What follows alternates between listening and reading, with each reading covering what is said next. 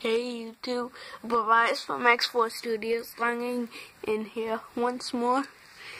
And I have recently, aka just a few minutes ago, just made a brand new Lego thing, which is, drumroll please,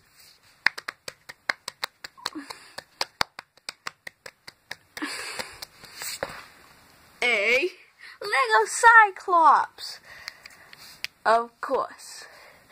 This looks nothing like Lego Cyclops. AKA the Marvel version. But guess what? I wasn't trying to. I just decided to make like a custom Mixel type thing. And I got this. Um I used some Mixel parts here, as you can see, such as these teeth, in this eye, in this butt. Just kidding.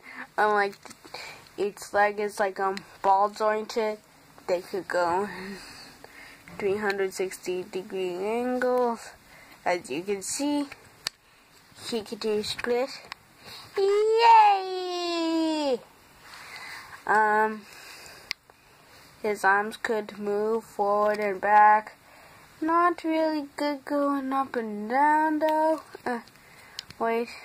Uh, maybe. Hi. Ow. Um.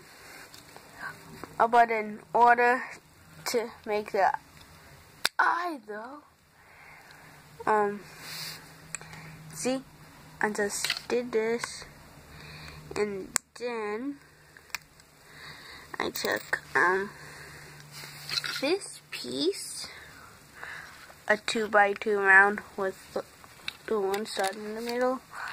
I put it down. and then I took this piece and a nine, and then ta-da, Cyclops.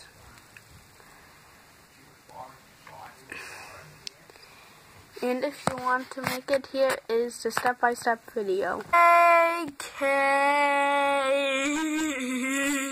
I will be in another video, so peace out.